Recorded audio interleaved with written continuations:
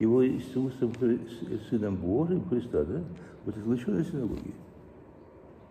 А это страшно было, это было самое страшное наказание. Лучше дать там какое-то другое физическое наказание, но не отлучать из ноги. Вот что это сейчас, вы знаете, ничего не боимся, да? Отлучать, отлучать от человека.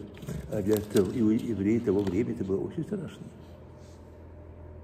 И тем не менее, верующие в Христа шли за ним до конца. Были, конечно, которые катально почитали Спасителя Сына Божиим, и даже начальствующих, об этом тоже говорит Евангелие сказано. Сказано об этом все в Евангелии. Но они сокровенно. И все же они боятся открыто А здесь четко и ясно была выражена их мысль, их вера, их желание, их любовь к Богу. И мы сейчас совершаем память Святого Мироносица. А что такое воскресенье? Воскресенье Христова. То есть мы, была, была Пасха, да? Она сейчас продолжается Пасха. До Дании Пасхи, а это ее праздник Пасхи. Почему все красное облачение, да? Потому что Пасха продолжается. Например, э, у гроба Господня там весь год Христос воскресе. Весь год. Весь год будет Христос воскресе, и батюшка Серафим, Саровский чудотворец. Была Пасха и сердце. Я часто неделю неделю живу мироносец. Я говорю, неделя в смысле воскресенья, а неделя как семидневный период. Понимаете, как? Семидневный период. И Священное Писание, я хочу немножко об женщинах, об женах мироносцев рассказать там, да? А почему ты тут мироносицы? Вот почему ты звали мироносицы? Как думаешь, Люба? Я думаю, что они мир несли, батюшка. В сердцах, своих имеем в сердцах, да. А у нас это вот по миру носится, да? По миру носимся, грешим, только ругаемся, деремся. А потом послушаешь, Господи, думаешь, неужели это сестры наши прихожане? По, не по миру, а мир несли мир людям. Мир Божий.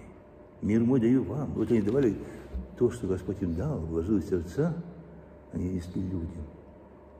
Кто они были такие? Писание очень мало их говорит. Я например, только некоторых из них, некоторых, и далеко не полный перечень имен этих святых жен, этих подвижниц, этих тружеников. Их подвиг нельзя переоценить. Они у всех были семьи. Семьи были у всех. И ничто. Ни семейные отношения, ни физический труд, будет тогда не было электричества, все было ручное, никакой-то не было машин, пешочком ходили, ну, кто-то побогаче там могли ездить там на каких-то верблюдах, там ослах, там, тогда пешочком ходили. И успевали, ходили везде, несли Слово Божие людям. У них была живая вера воскресшего Христа. А тоже когда позже, когда они узнали о его воскрешении, когда они увидели его, кто же они были, эти женщины? Они были Мария. Мария Магдалина звали, да? Магдалина – это не фамилия. Это не отчество. Это Мария из Магдалы. Из той местности, где она была, откуда вышла, из которой. Понимаете? Они тоже Мария, ну, Мария Клеопова, Соломия, Иоанна, жена Хуздова, правителя Иродова, Мария, Марфа, Сусана и иные – а самарянка. Хотя она тоже пришла ко Христу, поверила во Христа. А как звали, помните? Фатине. Фатине. И другие есть, имена которых неизвестны, Богу известно, нам нет. И они пошли за Христом. Несмотря на проблемы в семье, несмотря на представительство стороны там, э, членов семьи, несмотря на представительство стороны э, власть имущих. Это страшная махина бросилась на христиан того времени. Государственная махина. Отлучение от синагоги, все. Еще потом больше страшно стало. Когда Господь спас, скончался, да? Как грохот был запечатлен печатью.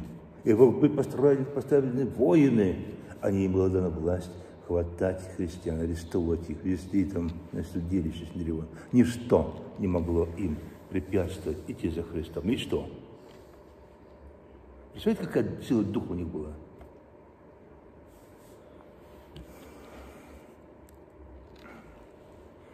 не спасителя, они как бы в тени оставались. Здесь мало у него говорит в Писании, да? Ну, вот Господь там пришел к Марии, Марфе и Марии, там, да, вот там вот, трапезе что-то вот они мыли, ну, Мария мыла ноги, спасли, спасли слезами, обтирала волосами своими там, да? Ну, там великий этот момент, это, но очень мало. Как бы в тени. Апостолы, они всегда были рядом с ним, Господом. Ну, а Женмер, они видели чудеса Спасителя. Они слышали его проповедь. Они шли за ним. И не просто шли. Если апостолы шли и служили, и ему тоже говорит то, что Господь сказал апостолам, эти там какие-то города, проходите слово там Божие, не берите ничего с собой, ни с собой, ничего не берите, да?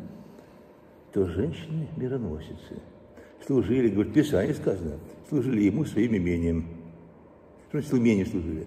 Где могли ученики отдохнуть там, допустим, принять пищу там, да?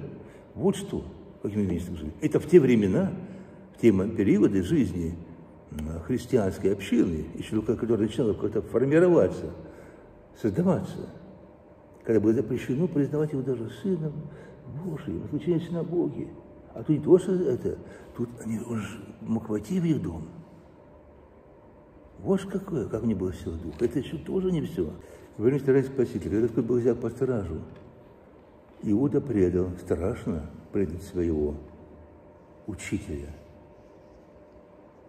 Но не менее страшно а отречение Петра. Если Иуда предал Господь, когда Господь был, ну скажем, на свободе, то Иуда предал Христа тогда. То есть Петр, когда Господь был под стражей, захвачен, арестован, когда все близкие люди бежали, когда вокруг была без, толпа, безумствующая толпа, которая была как бы одно – распять его, убить его, жестоко убить. И хотелось, как сказать, Господь, минуту видеть хотя бы одно родное лицо, близкое лицо, сочувствующий взгляд. И никого, кроме Иоанна Богослова. Все бежали. Божья Матерь, конечно, настояла. Иоанн стоял. А что где? Вы себе не можете представить минут состояние минут, когда вас придет друг. И когда ты вас встречается человек в самый тяжелый минут вашей земной жизни, вы не, представить, не можете представить такую скорбь, такой удар. Когда ты надеешься видеть помощь, поддержку, утешение, сострадание, внимание, и это видишь, а видишь предательство. А это произошло. Спасителем. Несмотря ни на давку, потому что Господи окружали люди. Если окружали не просто жители, окружали еще воины, которые же все решили, ним было указание его предобещеванию, потом распятии, смерти. Люди злобствующие. Когда Господь падал по тяжести креста, а крест весил 9, 6 пудов, представь себе избитого человека, да? И которые стали нести крест. В жару, в гору. Несмотря ни на что, Шены пошли за Христом на Голгофу. Понимаете, на страдание. Пускай они могли подойти близко, но не было такой возможности физически, они были здесь. И ведь они могли быть схвачены тем же воинами, арестованы, преданы смертной казни.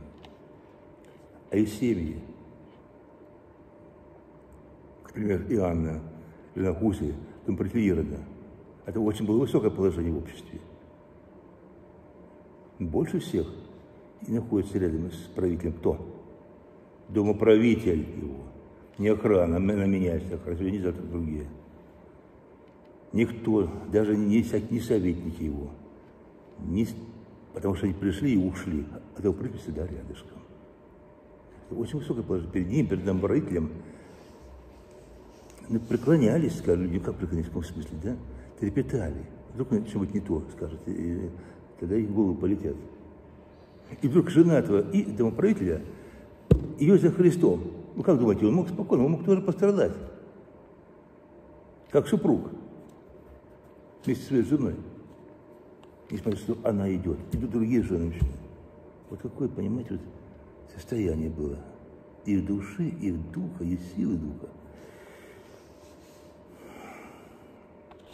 Вот именно им первым является Христос. Не апостол. Конечно, Божья Матерь, естественно, видела первого Господа, да? А дальше же она мироносица. Первым является Христос. Им. Ибо они стали апостолами для апостолов. Они сказали, сказали Петру, там, другим апостолам, что видели воскресшего Христа. И только когда Петр и Иоанн побежали в гробу Господню, Петр был старше Иоанна, Иоанн поэтому был моложе, бежал быстрее Петра. Сделал, Иоанн прибежал к гробу Господа первым. Но не вошел. Вопрос, почему не вошел? Значит, мы говорим, даже по возрасту. Что? По, из уважения возраста. Как? Изложение возраста. У нас никакого изложения возраста нету. Он не вошел. На старший, не старший, идем вперед. Решим. Он не вошел. Когда Петр пришел, то Петр посмотрел, потом вошел Иоанн. Уважение к возрасту. Да, ты правильно сказала. Какое-то отношение имеет к нам эти женщины, жены мирности, они пошли за Христом, несмотря на свое положение, занимаем в обществе, несмотря на свои препятствия, несмотря на никакие трудности, несмотря ни на что. И только пошли за Ним, даже служили Господу своим имением. Понимаете как? Именем. А мы? Как идем мы за Христом? И не имеет лично вас, а вообще человечество. Великие праздники совершаются, воскресный день. В, храме 65, в городе 65 тысяч жителей. В храме человек, ну, может быть, так 200 стоит. Где остальные христиане? Я не имею в виду там людей прикол на кровати, там, больных, там, где они находятся? Где угодно. Огород поливает там в это воскресенье, закопает грядки там, сажает, воскресный день идет. А то человек не следует за Христом.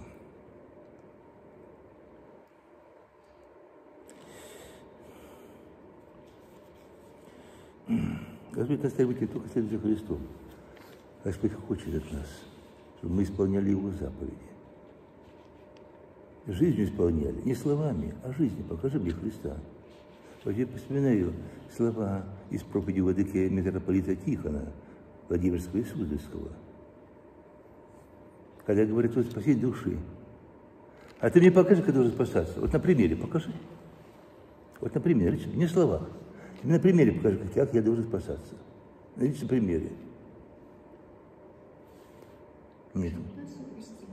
Мне надо слова, мне надо эти теории, мне надо эти учить. Ты мне примеры покажи. Вот святые показывали примером, лично примером. Понимаете как? Господь нам дал сейчас все. Понимаете? Все он дал для того, чтобы человек шел путем спасения.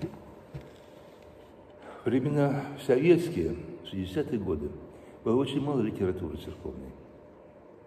Ну, может быть, вас слов какое-то определенное количество, не больше. Не, не, не вкусничали. И Мария так чуть-чуть, и все. А сейчас целый тома святых отцов. Ведь святые прошли эти путем к прошли. Если в произведениях оставили нам указания, как нам идти, чтобы быть с Богом. Только ты должен выбрать образ жизни того святого, который соответствует твоему образу жизни. Не князя, что это, ты, ты княгиня же, не царя там, да? Не воина, ты же не воин. Ну, в смысле, мы такой воин, да? А нет. Укажи, вот иди такой что. Ну как он что? Вот и живи, пойми, путем подражай. Вот тебе путь к спасению. А если не стал листья как бы с грехами, со страстями. Возьми, дочитай. Это наша лень уже.